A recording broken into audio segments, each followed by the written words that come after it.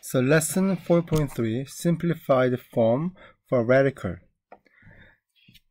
So before we beginning um some practice and problem, we want to review these problems. If we do x squared equal to 4, how to find x value from here? So we will take square root both sides, right?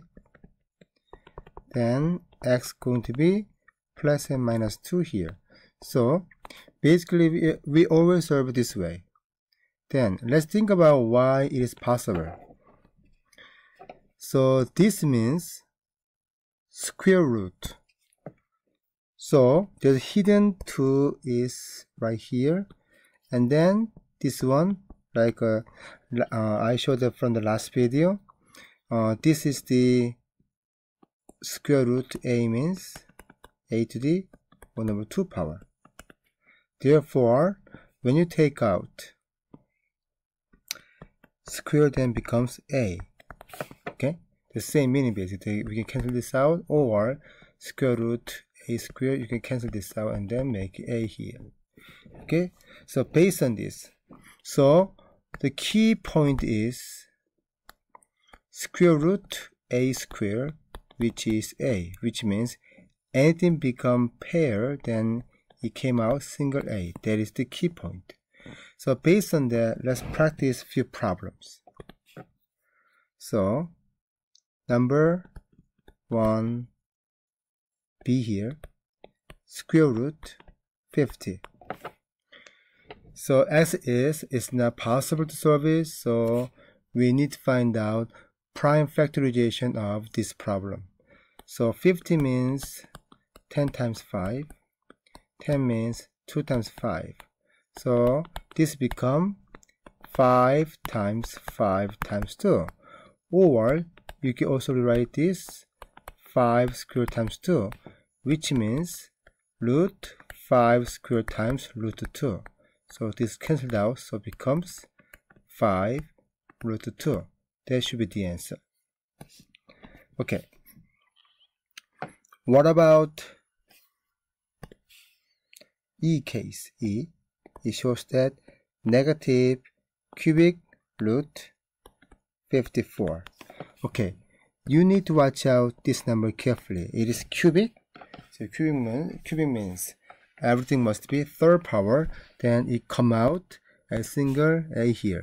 So for example, if you have square um, cubic root maybe a cube, then this cancels out so becomes a. So you need to find out something cube power. So same way, we're gonna find out prime factorization prime factorization of 54 then this is the 9 times 6 3 times 3 3 times 2 so this becomes negatives are already outside so you keep that. And cubic root 3 cubed times 2 which means negative cubic root 3 cubed times cubic root 2 so this cancelled out so become negative 3 cubic root 2 okay? So look at a little bit more complicated problem such as um, page 67 letter n which is cubic root 24 a cube b square and c fifth. Okay. So as you see this has number a b and c here. So you can separate them and then analyze it uh, in uh, separately too. So cubic root 24 cubic root a cube cubic root b square cubic root c5 here. Okay. Then now 24 you need to find out is prime factorization. So this is the 8 times 3 2 times 4 and 2 times 2 so we have 2 cube here. So you can rewrite this cubic root 2 cube times 3 and cubic root a cube. Now cubic root b square. And now c5 so c5 means 1 2 3 4 5 so c cube times c square. So now take out all the cubic one as single number which is 2 a c. And then now remaining term 3 b square and c, c square must be inside still okay?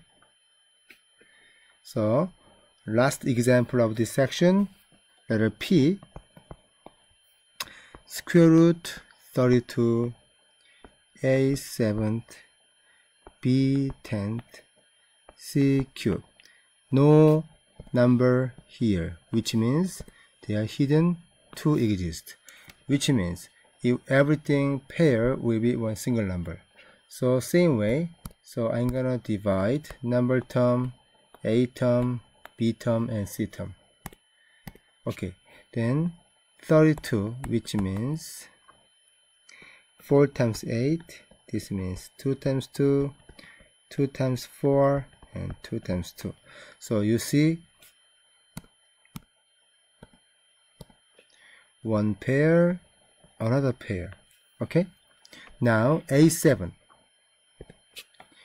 so a7 means 1 2 3 4 5 6 7 so one pair two pair three pair right? Okay. If you do same thing then you know you may notice that you can use the division for the variable case here. So now a7 you can make a sixth time a here right? Then how do I know? Just make 7 divided by oh sorry.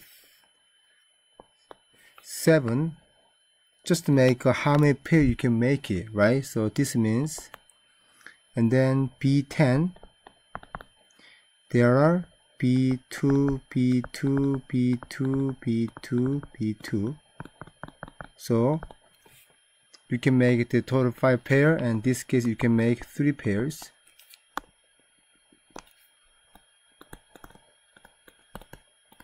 Yeah. And then this one c cube means you can make one pair and then one single C here. So the answer becomes 2 times 2 times 1 2 3 a cube 1 2 3 4 5 b5 1 c and then leftover becomes 2 and then a and then c. That's the answer. So simplify then. 4 a cube b fifth c square root 2ac okay. So they can be the our final answer okay? Then now I will just tell you because of this like this the exponent is pretty big here right? Then we can make division rule and then make it. So like a seventh here. Then you can make 7 divided by 2 then 2 go to 7 three times. Then left over 1 here which means 3 power come out and then 1 left. So root a7 we can make a cube square root a. So 3 power come out single power left inside like that. So b10 you can do 10 divided by 2 then 5 times. So it's evenly divided which means fifth power come out and then no power left. So it becomes square root b 10 b10 means p to the fifth power okay